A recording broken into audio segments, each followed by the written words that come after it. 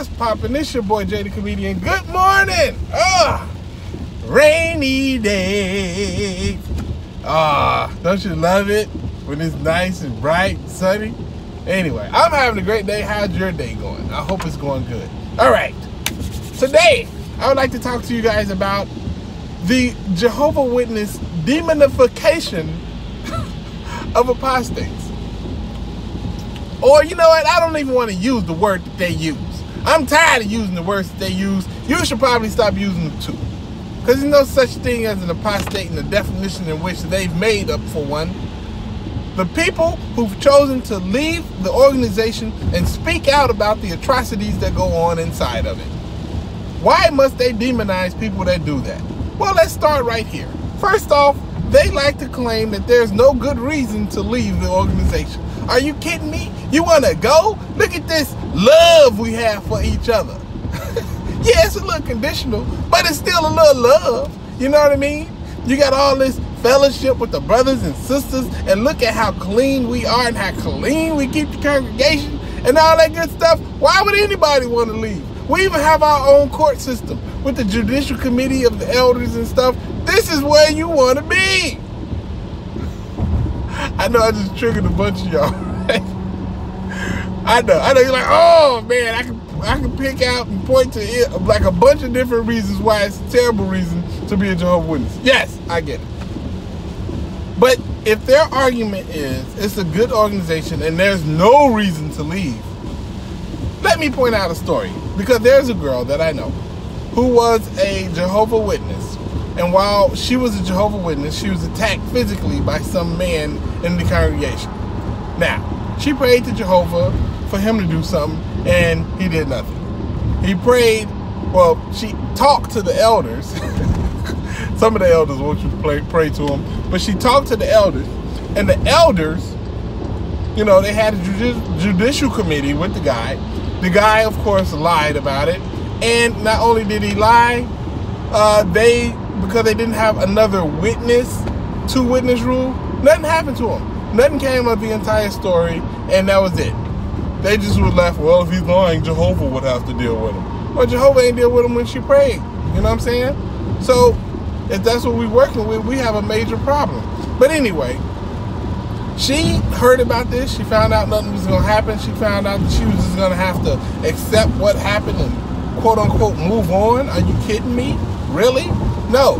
That sounds like a great reason to leave any organization or group or anything that's okay with something like that happening and refuse to report it to the correct authorities. She didn't report it herself, but she did leave the organization. Now, mind you, if you're saying that there's no good reason to leave, I counter with that story. That's a great reason to leave any organization. And now that she left, she leaves and she starts to do research on this organization because that's what you do. When something has been a part of your life for so long and it encompasses everything that goes on, I'm talking about down to whether or not you're beat off or not. You know what I'm saying? Like, they all in your business. You want to know more about them. You want to start looking at all the things they told you not to look at because you've lost trust in them. And when you lose trust in something, you, the first thing you do is start looking at what you've been told not to look to. You know what I'm saying? Like if I've been cool with somebody all my life and they've been telling me, you know, don't look up what they do over there on this side of the farm because, uh, you know, they don't like you over there. I'm like, what? They don't like me over there? Only you like me, huh? Yeah, only I like you. Then I found out he been putting cat poop in my socks every morning. You know what I'm saying? One day I figure out, you know what? I'm tired of these people putting cat poop in my sock. And then I see it's him. He's the one putting the cat poop in my sock. so when you find out that he's been putting the cat poop in your sock. Now you gotta go to the people that he's been saying is terrible to you and they don't like you and they hate you. And then you talk to him, you're like, we've never had a problem with you. He's the only person that says negative things about you and bad things about you. You know what I'm saying? Because that's the normal thing that happens. When you find out that somebody whom you trusted were giving you bad information, you need to look up the information that they were giving you and confirm what they're saying to be true. So that's what people do after they leave the organization. Everything, oh, you said don't look at the internet. Oh, you said don't search the sites that uh, oppose uh, what we're saying. Okay, because while you're in it, I remember I was, I never even heard about the like the child stuff that was going on because the simple fact I didn't I I was cut off from the information. It was going on, but I was cut off from the information and I didn't want the information. I didn't even look for it. You know what I'm saying? So they must demonize anybody who's going against what they're saying because especially people who were once Jehovah Witnesses. Because the excuse that Jehovah Witnesses use when they're talking to people who aren't Jehovah Witnesses is, oh, you just don't understand. Oh, you just don't get it. You don't understand because you never lived it. So you can't possibly get it, so you can't possibly understand. So why should I listen to anything you have to say? You can't say that to people who are actually in the trenches of the Jehovah Witness organization. You can't tell me I don't know what I'm talking about. Even though like them stage three people on my YouTube page, they be on there. Jay, you've never been at home with this. You don't know what you're talking about. Yeah, I do. And you know it too. That's what pisses you off. but the thing is, the, the, the biggest thing is, is that they cannot have 8 million people waking up. And if 8 million people had the freedom to search anything that they wanted to search and compound and contrast like the stuff that they've been told versus the stuff that people who were also members told them, there'd be a, a large crowd of people leaving the organization like that. And of course, the organization simply can't have that. After all the atrocities and things that they've done, and they poison the well too because they know how people are going to come after them. They know what they've done. They know how they've hurt people. They know how they've manipulated and, and estranged families and had people do things to their own kids. You know what I'm saying? Especially via the blood transfusion issue. Like, they know all this stuff. They know it. They, they're well versed in horror. You know what I'm saying? They know horror very, very well. So they know how people who are once witnesses are going to come at them. That's why they always tell people, oh, they're gonna be mad and they're gonna be angry. Yeah, I would be mad and angry too if you found out the stuff that you found out. And then they're gonna start telling you lies like we hid stuff and we did this. Ah, oh, I mean, they'll say anything to get you out. now, in, in, in real life, they did do that. But since they poisoned the well, when a brainwashed Jehovah Witness hear it, they're like, see, they told me you was gonna say this. They warned me already. Get back away from me, Satan. you know what I mean? They just know how you gonna come at them, so they have a defense for it, man. But um, don't be mad. Don't feel scared. And one day, if you are a Jehovah Witness and you're watching this video, open up your ears. Don't let anybody tell you what you can and cannot listen to, or who you can and who you cannot talk to.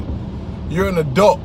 You have the power of reasoning common sense, and the ability to judge certain things that happen in your life and that you hear.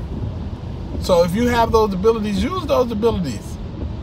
You have them for a reason. You believe in God? If you do, then you have to believe he gave you those for a reason. And you have to not trust anybody who tells you to go against those. So that's my basic argument. But I also, in this video, I wanted to talk to all the people who have been donating to my GoFundMe for my comedy special. Thank you guys so much. Like seriously. We we over $200 now.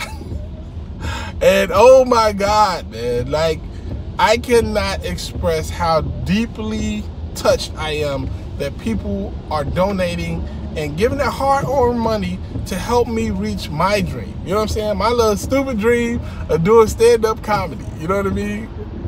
Now, I know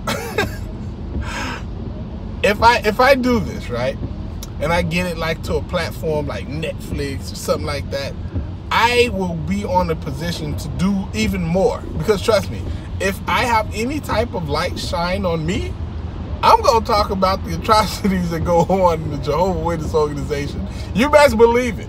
It might start off in joke format, but you better believe me, I'm going to speak out about it. But um, that's just one way, that's just one promise I will make to you.